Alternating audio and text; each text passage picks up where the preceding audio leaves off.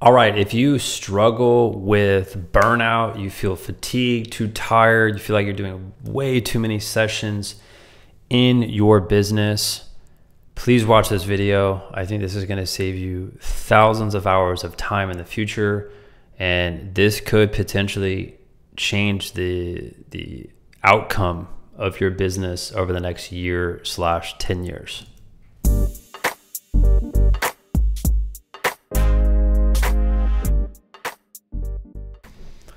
All right, welcome back. So a lot of coaches ask me all the time, they'll say, Ben, I feel too burned out. I feel like I'm just running myself in the ground, doing way too many sessions. And here's the thing. I've already done that in my in my business. Um, if you have done any research on this channel, you probably know like I used to run 37 to 43 sessions per week, every week. Uh, on Sundays, I'd work from like 6 a.m. to 7 p.m. straight, no break, right?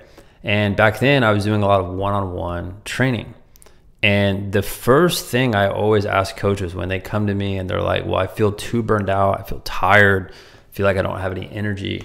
I always ask them, "Well, how do you have your business set up?" And most of the time, it's coaches that are either A, they're running too many private training sessions, or B, they have too many groups that they work with, right? So these are two different uh, problems here. I'll talk about both of them. So if you're doing too many one-on-one sessions, then what you can do to really like, if you wanted to cut half the amount of time that you're working right now, like let's say you're doing 40 sessions a week and you wanted to cut it to 20, then you tell all your clients starting in 30 days from now that you're going to be pairing each each client with someone else that's at their level and you can go from 40 hours per week to 20 hours per week. And whether you charge less or you charge the same that's your call it's your business all right? But doing that like you could do that and instantly take half the amount of hours off of what you're currently doing right now all right? So that's something you could do. Or you could just radically change it and say yeah we're going to be doing groups of six. And i mean you can go and sit there with a notepad and do the numbers on how many hours you would actually save per month. I mean, it's it's unreal when you actually look at the numbers. If you move into group training, like six or eight uh, clients uh, per session, so that's the first scenario: is too many one-on-one sessions. Um, you're gonna get tired. You're gonna get burned out. Uh, there's a short like, and I kind of look at it like same way with NFL players. Like NFL players I think the average NFL player is like stays in the league for like three years, two or three years, something like that, before they get hurt. Um, with coaches that do training, if if you do one-on-one training for more than three years, I am shocked. Um, if you're doing it at a high level consistently, hours and hours and hours every week, like it takes a toll on your body. Um, and ultimately that affects the quality of training because if you have low energy at your sessions, your clients can read off of that. Like they can, they can feel it, right? Long term, they're not going to want to be with you if you're too tired, if you're moping around at the session. So you can cut your hours by transitioning group training. Uh, if you don't know how to do that, you want more help, reach out to me. That like I do this every single day with coaches that I help. Uh, we transition their business from one-on-one to groups. Um, and the second problem we talked about is a coach who has too many groups. So you might have like 12 to 15 groups that you're training and you have a lot of clients that you're working with. Well, one of the first things that I would look at is, you know, is your group training program run like a machine? And what I mean by that is like on the hour, every hour, on the days that you want to train, like how filled up are those groups? Like, do you have a group of two over here, a group of seven over here, a group of three over here? Like, how is it being operated? So, only I would be able to know that if I get on a call with you and we look at it.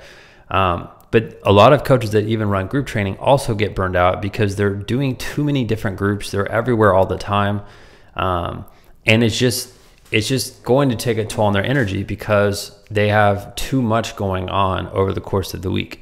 Now, I think the most optimal setup for any coach I've ever worked with, it's this. First, we determine how many hours of training they want to do per week. That, that's the first thing that we do. So we find the sweet spot. Well, what is that for you? That could be five hours a week. That could be 10 hours a week. That could even be 20 hours a week. I don't know. I'm not you. I'm just getting you to think about this. All right. Then we try to figure out, well, can this coach hire someone to go do those hours or are they going to be doing them? So if they're going to hire someone, then we need to teach that person, you know, how to how to coach the kids, how to do training with the same philosophy, the same drills, like whatever it is. We try to duplicate that coach's brain into someone else so they can go do it. This way the coach can be a business owner, not just a coach and a trainer, right? And then from there, it comes down to, well, if we have the systems in place, then how can we take any new client that ever ends up joining our program and put them into a group that already exists, right? So this way, when someone joins the program, this coach is not working more hours, right? And if you're doing one-on-one training right now, the only way you can make more money is if someone new joins your program. Well, guess what? If you train them once a week, now you're training four more hours per month than you were last month. So you're working more hours instead of putting them in a system. So that's the difference, right? And the most successful coaches I have ever worked with over the last five, six years, they have these systems. When someone joins, they're not working harder with that client. They're putting them into a system. That system works. Uh, whether it's a system with assistant coaches or it's with that specific coach, it doesn't matter, right? And at the end of the day, your workload is always determined by you. You are the business owner. If you get stuck in one on one training, that's on you. Like you can change that. You can decide to switch that the same way I did multiple years ago, and the same way multiple, you know, hundreds of coaches at this point that I work with, they end up making that change too. All right. So I hope that makes sense. I hope it's clear. Um, if you're getting burned out, that's on you. You can change it, but you need to change it. Like if you want to have a lot of energy at your sessions, you want to have a greater impact as, as a coach and as a mentor. Like doing that in a group setting is the way to do it, right? And doing one on one for the rest of your life, it can absolutely work if that's what you're into, but you'll run into a scaling problem. All right. That's just the reality. There's no way of hiding from that. All right. It's, it's good that I tell you the reality and try to tell you the truth um, versus trying to say, yeah, do one on one training. That's, that's going to be the way you grow your business. No, it's not. It, it's, that's going to be the way to be the most tired at the end of, of every week for the rest of your life. All right. Hope this helps.